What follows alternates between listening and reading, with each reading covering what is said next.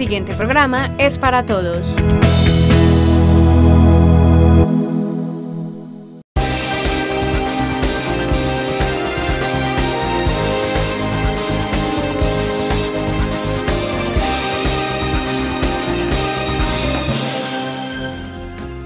Buenas noches, bienvenidos a una nueva emisión de UNS El Informativo. Damos paso a los titulares de hoy.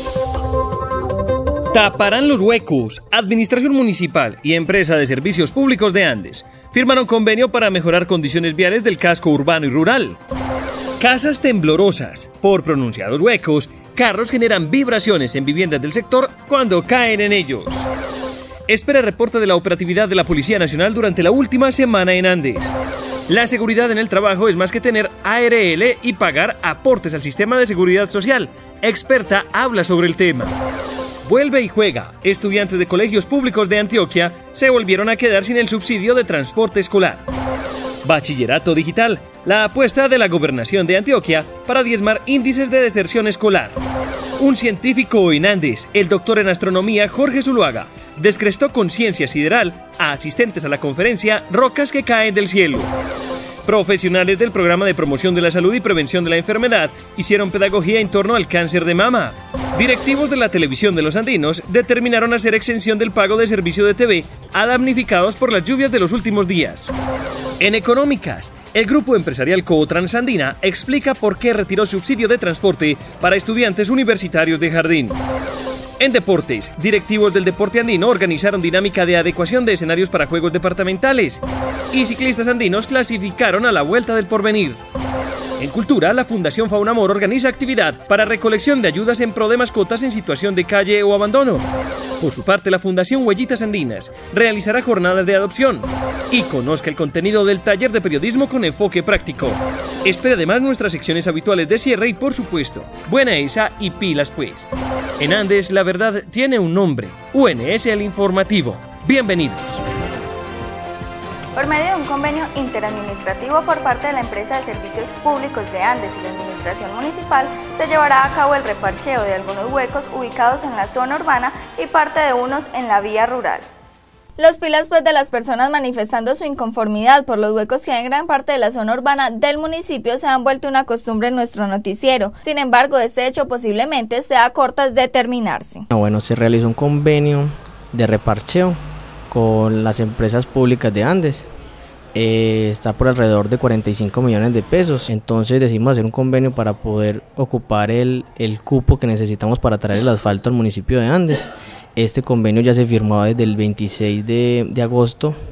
Eh, ya estamos esperando, pues han habido unos inconvenientes para el inicio por el clima y estamos mirándola pues, para traer el material desde, desde Caldas o, o desde Sabaneta o Girardota, pues siempre desde Medellín el material que toca traer, entonces eso ha dificultado un poquito el inicio del, de las labores, pero tenemos ya presupuestado para que este jueves empezamos con las labores de, de marcación y, y corte para ya la otra semana estar queriendo Dios empezando ya con el reparcheo, con el asfaltado.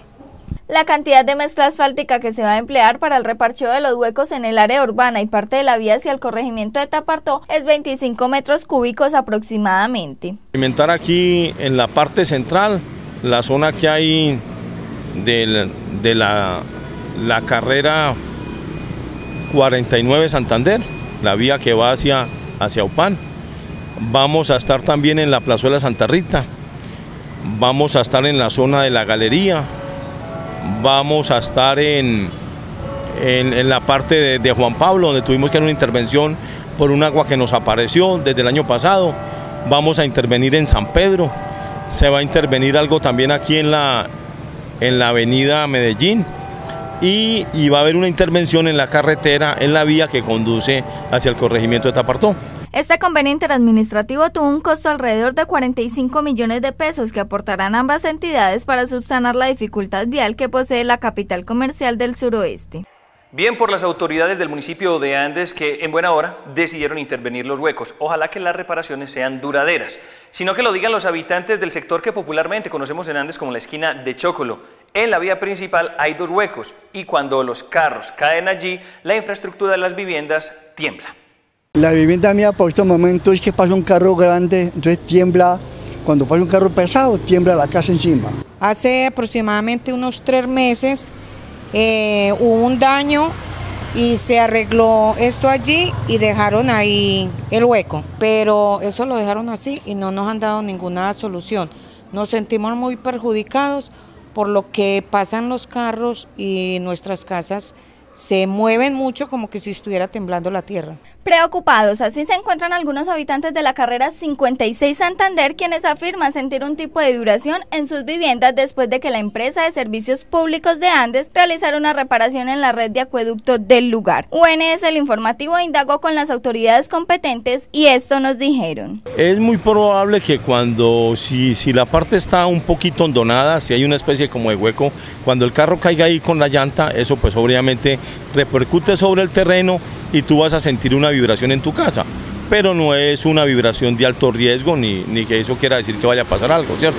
Seguramente por eso ellos suponen pues que antes no lo sentían, aunque en las casas que son de un primer piso y que están muy cerca del pavimento, cada que pase un carro siempre se va a sentir algo de vibración.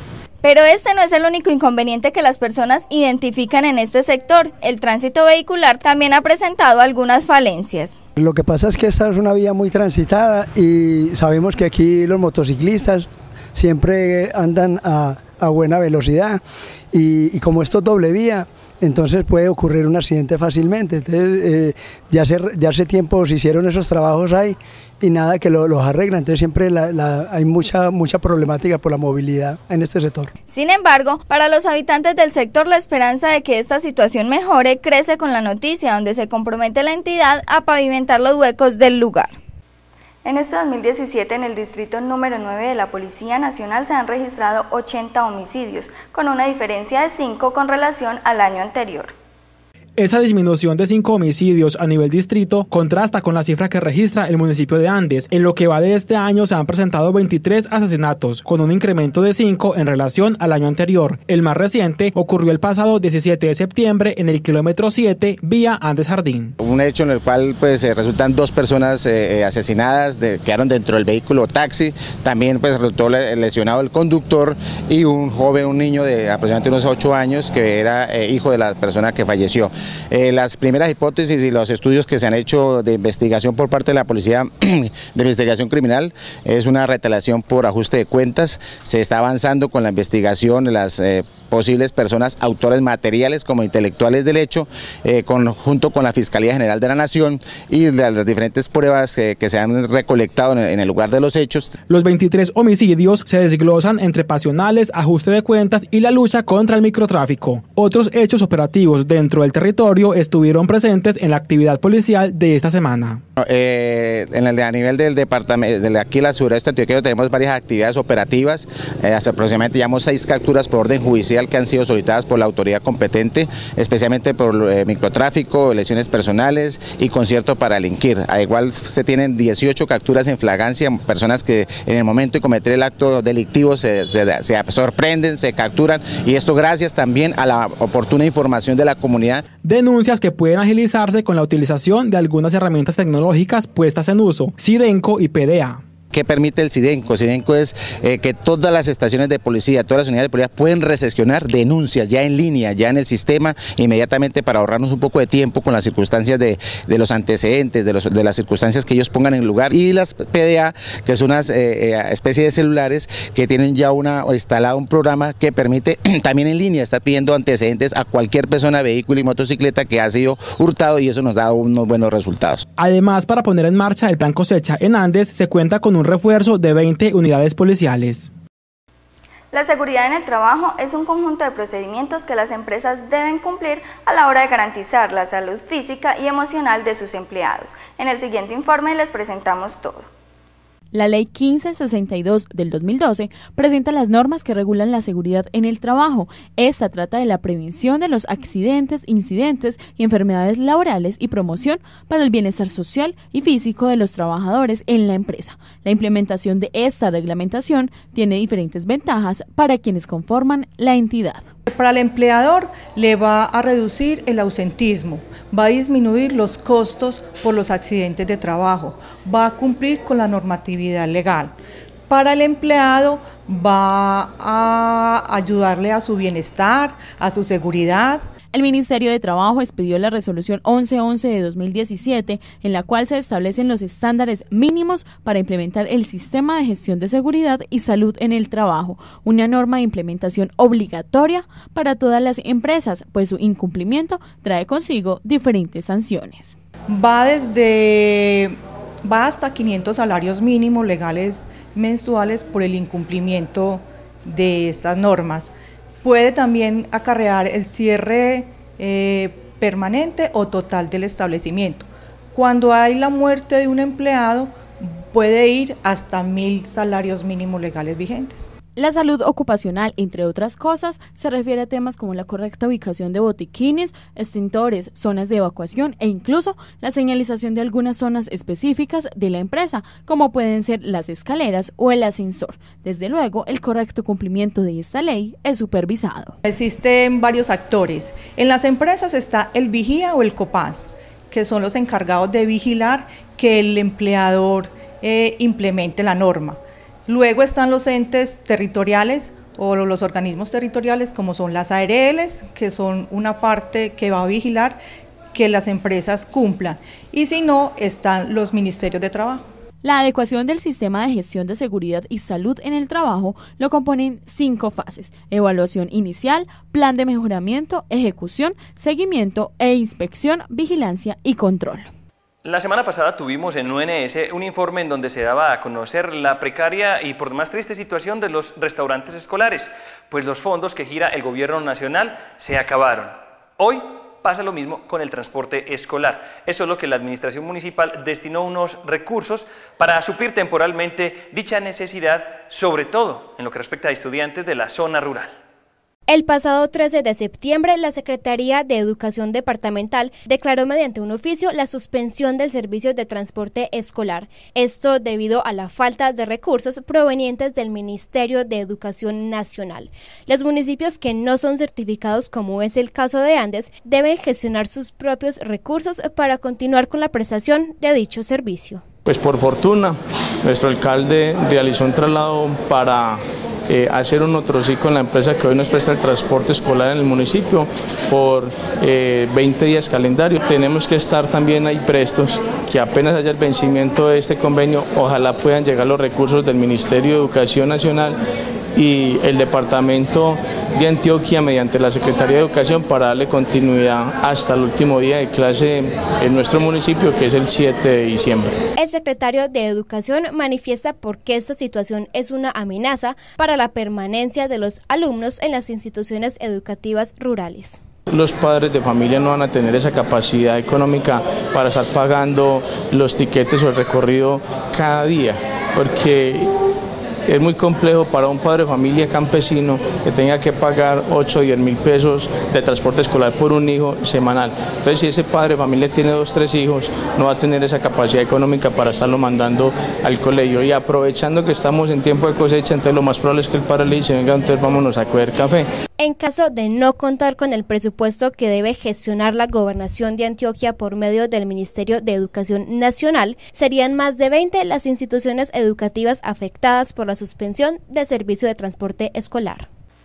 La Gobernación de Antioquia promueve una alternativa educativa para quienes no han terminado su bachillerato o quienes por distintas razones no se pueden acomodar a los horarios que establecen las instituciones educativas.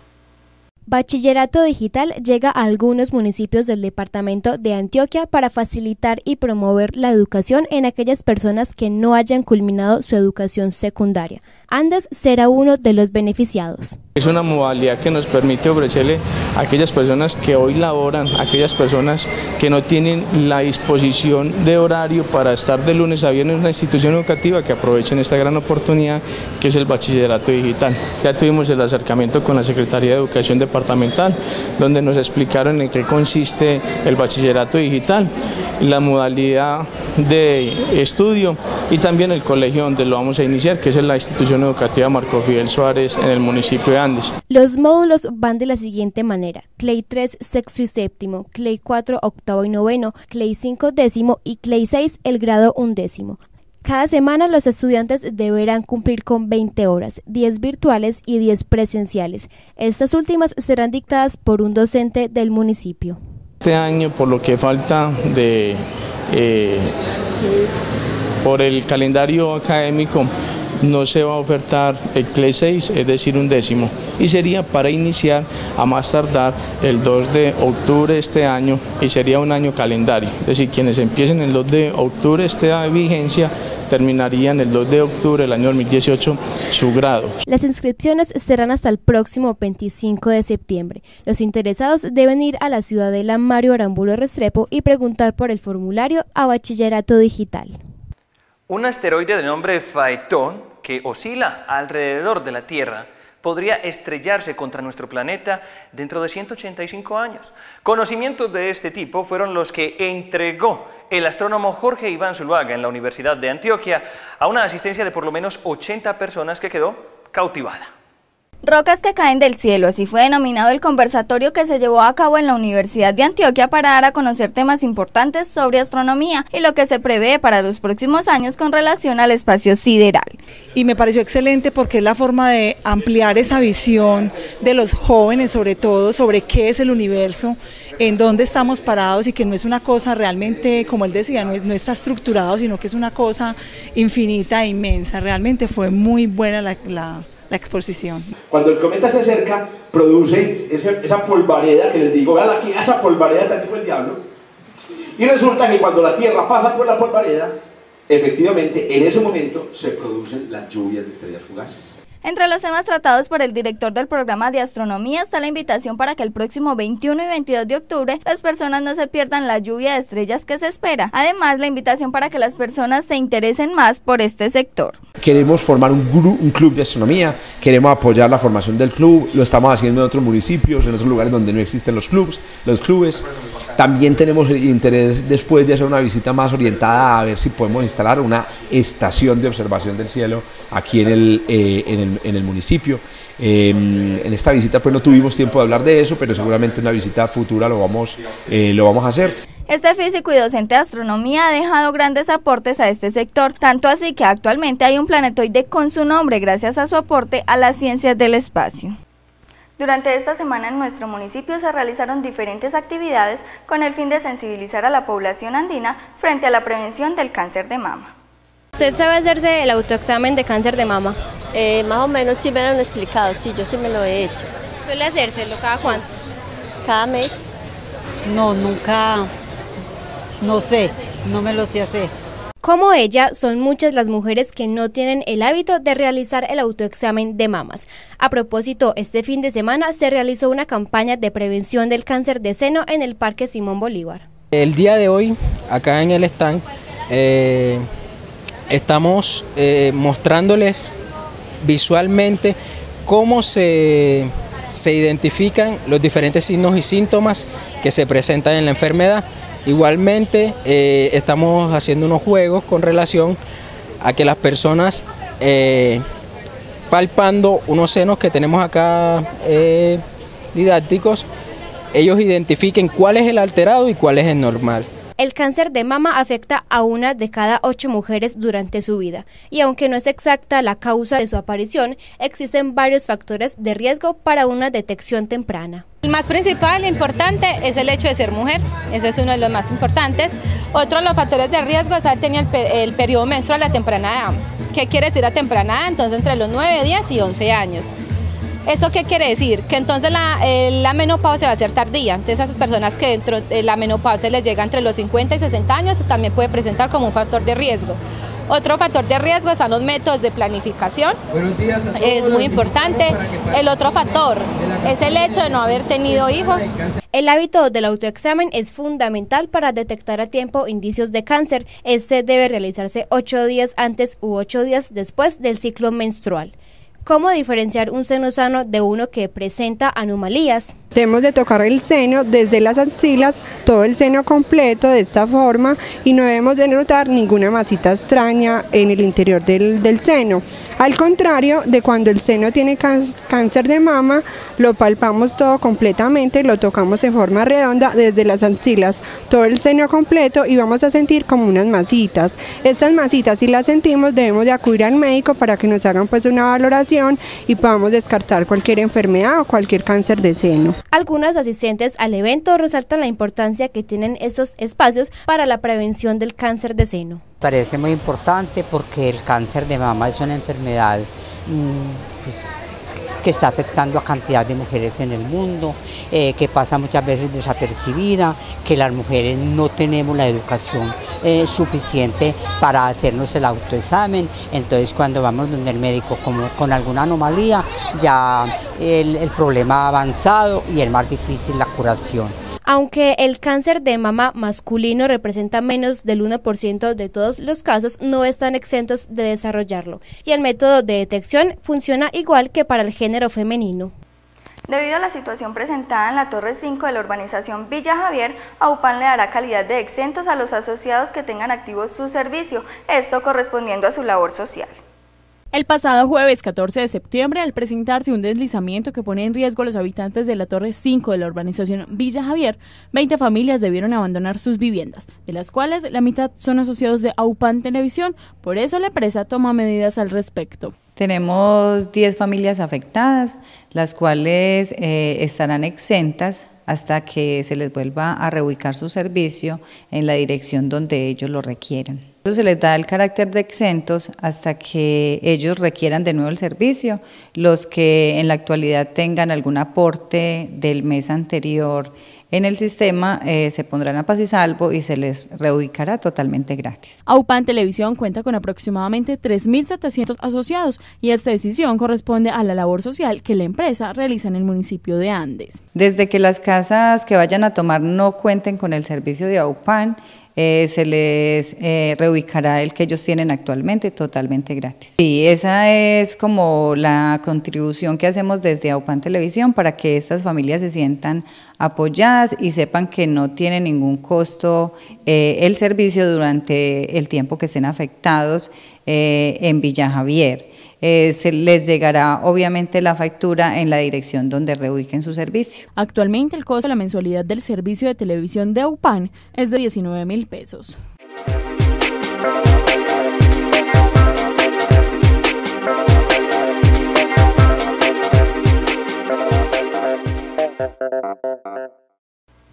En nuestras noticias económicas les contamos que la empresa Cotransandina retiró la ruta Jardín Universidad de Antioquia, esta que se había adecuado para los estudiantes de la seccional suroeste. El grupo empresarial Cotransandina implementó una ruta directa de transporte para los estudiantes de la Universidad de Antioquia seccional suroeste que residen en Jardín. Dicho servicio preferencial fue retirado debido al poco uso por parte de los estudiantes. El primer día no salió nadie, en el segundo día la escalera bajó dos personas y en la tercera bajó cuatro. Y sin posibilidad de crecimiento porque ya yo veía que los estábamos digamos, cumpliendo al 100% de lo que habíamos comprometido. Según el gerente, los horarios establecidos para la implementación de este servicio se eligieron con anterioridad, en común acuerdo con los beneficiados. Ya he escuchado de algunos estudiantes que no, eso no me lo dijeron en la reunión, es que los horarios de ingreso no son los mismos, entonces que unos llegan a las 7, otros llegan a las 9, otros llegan a las 11, entonces que por ende no les daría, que siendo el número real que son los estudiantes que están desde jardín, de 35-40, es cierto, pero que los horarios no les da para andar juntos a las 7 de la mañana como se pretendía. Los estudiantes que residan en Jardín deberán volver a utilizar los servicios de la empresa de transporte suroeste antioqueño como ruta para viajar hacia la universidad. Que realmente no me da para tener un vehículo donde los, los altos costos del mantenimiento o, de combustible, del día a día, no me, se veía reflejado a lo que habíamos hablado. Sin embargo, les quiero decir que la empresa Transporte Suroeste, que es la que presta el servicio Jardín Medellín, continúa prestándole servicio a los estudiantes en los horarios habituales que nosotros hacemos en día a día. Quiere decir que el servicio no se quitó, en ningún momento se perdió, sino que queríamos darle un tratamiento diferencial, que era a lo que yo pretendía con este nuevo servicio. Alrededor de 35 estudiantes se beneficiarían con esta ruta preferencial que debido a la poca utilización ya no se prestará por parte de esta empresa.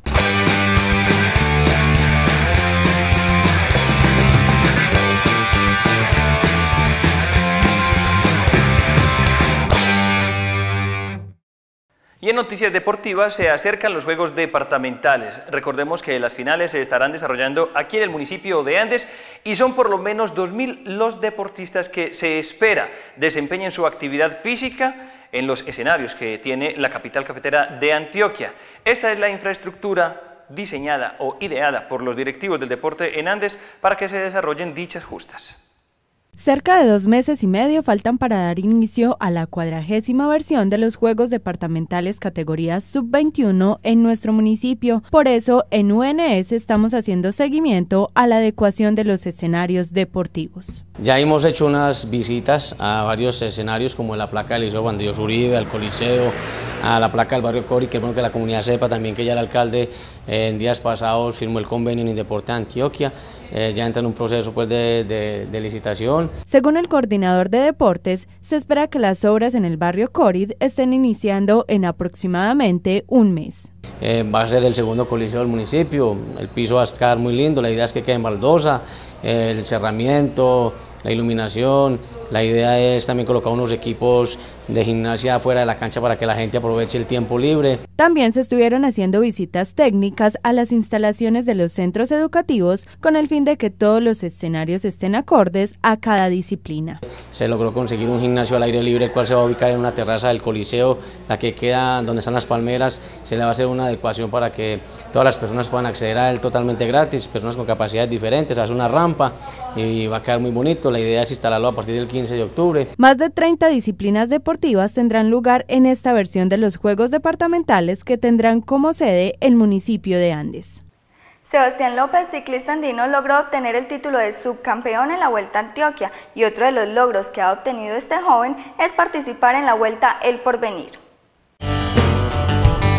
pues ya existe un Nairo, existe un Rigoberto, no, yo quiero ser como Sebastián López. Y va por buen camino, a sus 18 años ya hace parte de un equipo profesional. Recientemente participó en el zonal de la Vuelta a Antioquia y clasificó en la categoría juvenil para la Vuelta por venir. El sueño de todo ciclista es llegar a Europa y correr por allá, por esas vías que la verdad sí sería ya como la cúspide de la carrera.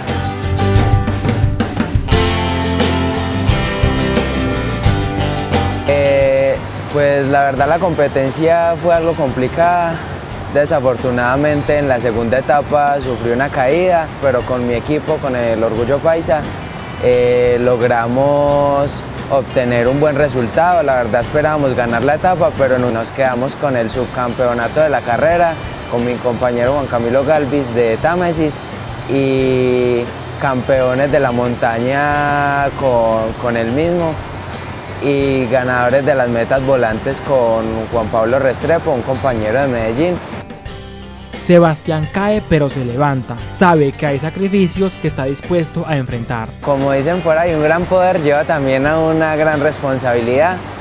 Ya, ya en el equipo también tenemos que saber que tenemos que dar buen rendimiento, tenemos que dar resultados en las competencias, ayudar a los compañeros. También hay otra cosa muy dura que pues más a uno como joven lo afecta mucho, y, pero la verdad vale la pena hacer todos esos cambios, más que todo ya cuando se dice que los trasnochos, las fiestas, que, ah, que una salida con los amigos que vamos para por allá, uno sabe que uno no puede porque viene una competencia dentro de poco y entonces es complicado uno, uno decirle a los amigos no, no puedo ir, es después cuando se llega a la hora de competir se ven también los resultados, entonces que todo sea por salir adelante. Va veloz y seguro, con la mirada puesta en la meta, integrante del orgullo paisa, siendo además un orgullo andino. La idea es darle buenos triunfos a Andes, sacar adelante, adelante lo que ha venido siendo el municipio, y darle muchas alegrías al pueblo andino y en mi caso a Tapartó que ha sido mi cuna. Yo quiero ser como Sebastián López. Hacemos una breve pausa para mensajes comerciales y cuando regresemos toda la información cultural, que en este caso estará a cargo de quienes hemos venido presentando esta emisión, Julián Osorio y Víctor Hugo Obando Palacio.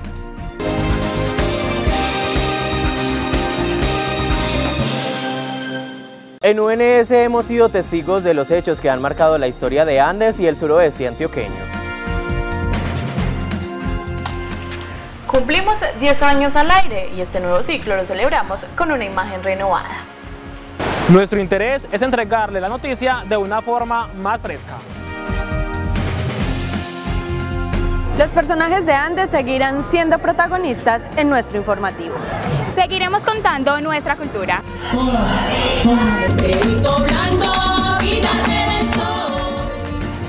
En 10 años generamos un cambio. Pero nuestro compromiso por ofrecer un periodismo de cara a la veracidad continúa.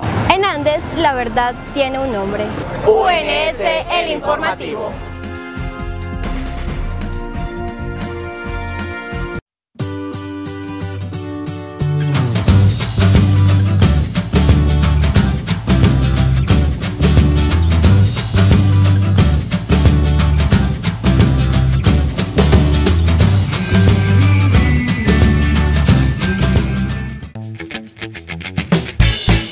En Bodecentro Andes, encuentre el sitio perfecto para transformar su hogar. Somos distribuidores de aglomerados, Madecor, RH, MDF, Triplex, Madeflex. Tenemos la fábrica más moderna en Andes para la elaboración de cocinas, closets, muebles para baños, puertas y estanterías comerciales. Además, encuentre aquí todo lo relacionado con la construcción, cerámicas, enchapes, combos sanitarios, lavamanos, duchas, pisos, paredes y la mejor atención. Somos distribuidores de materiales de ferretería y construcción para el suroeste. En Bodecentro Andes, pensamos en transformar su hogar.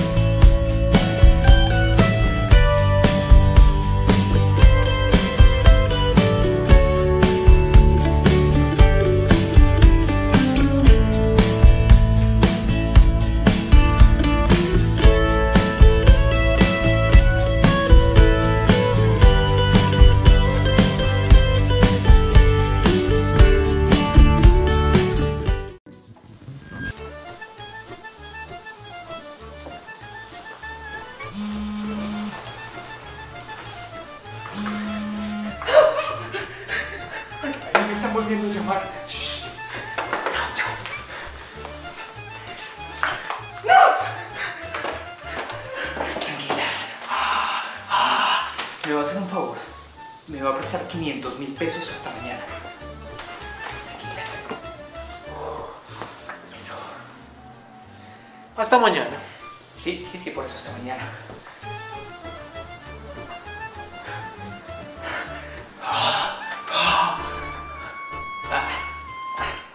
Ingresa a www.confiar.com y te enseñamos cómo. Tarjeta de crédito Confiar. Una tarjeta en la que puedes confiar.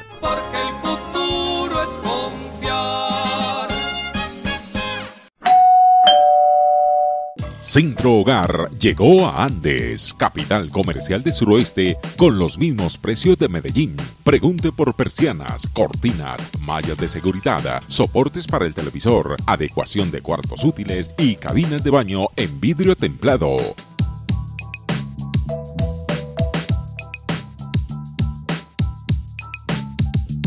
Llame ya y reciba nuestra asesoría sin costo alguno. 310-644-7543.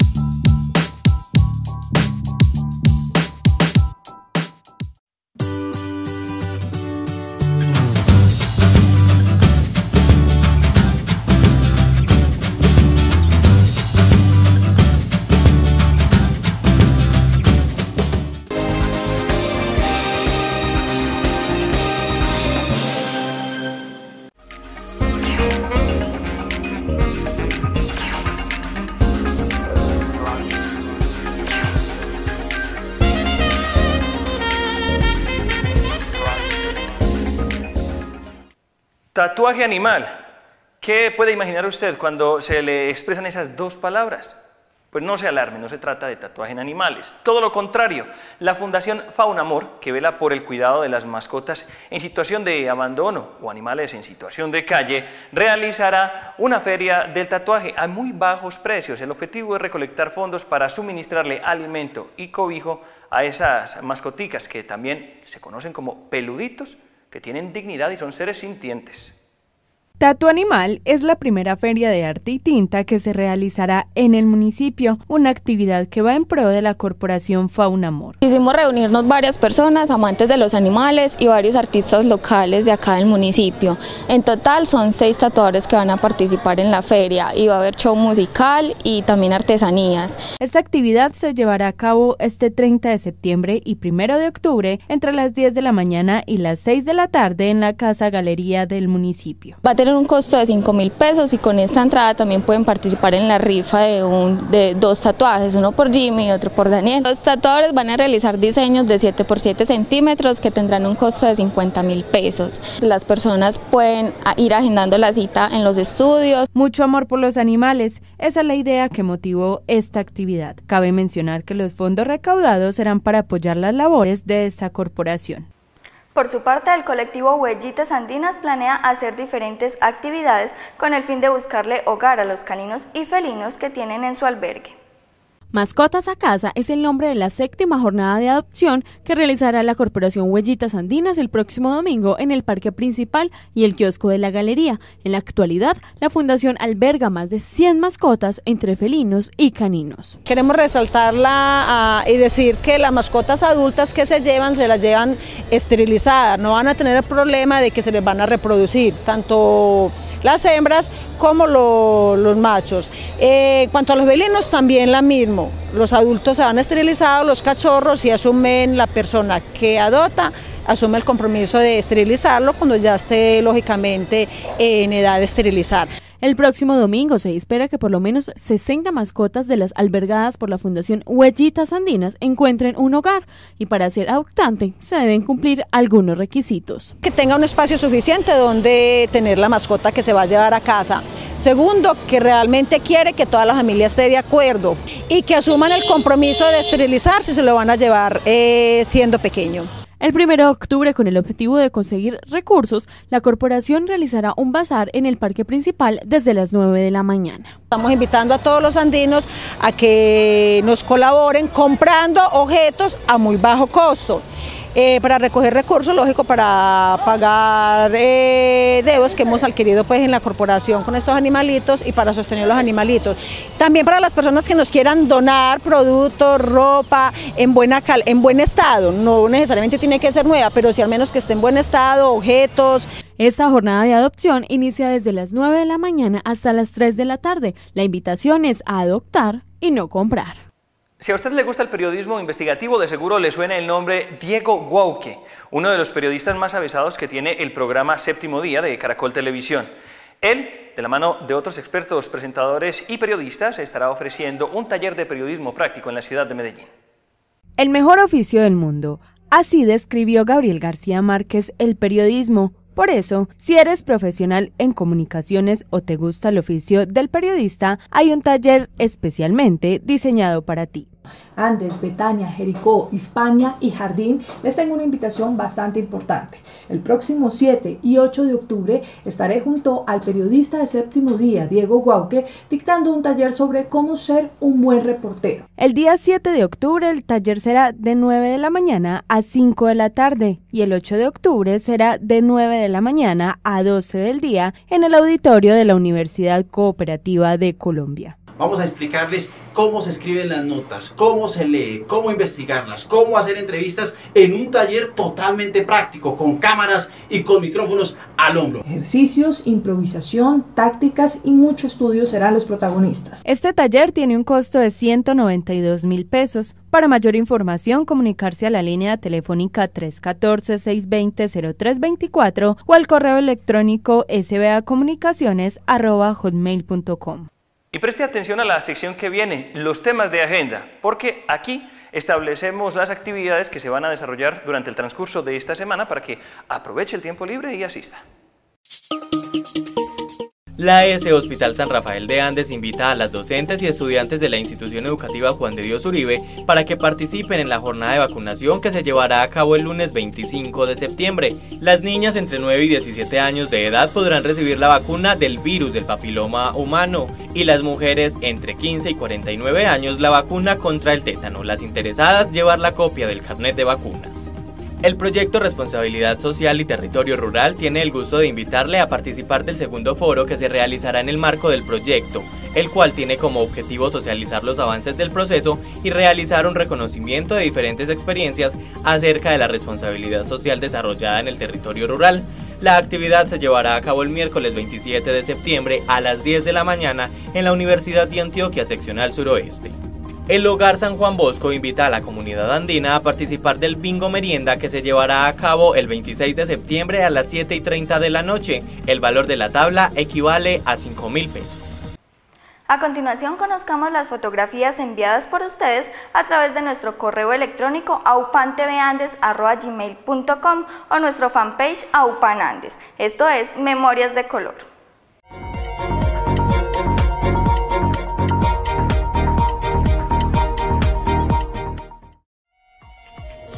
Esta emisión de Memorias de Color la iniciamos con la fotografía de Eliana Celis, Entre Montañas. Pesebre es la fotografía que nos comparte John Jairo Henao.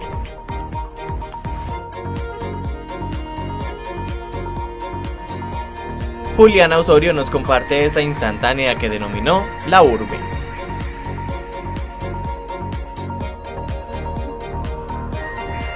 Piedras del Olvido es la fotografía que nos comparte Luisa María Quintero.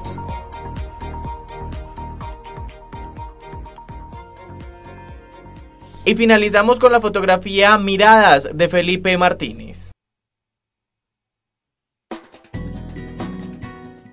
Si de pronto usted tiene dificultades para asimilar el verdadero significado de la palabra arrepentimiento con algo de ternura, preste atención al siguiente can.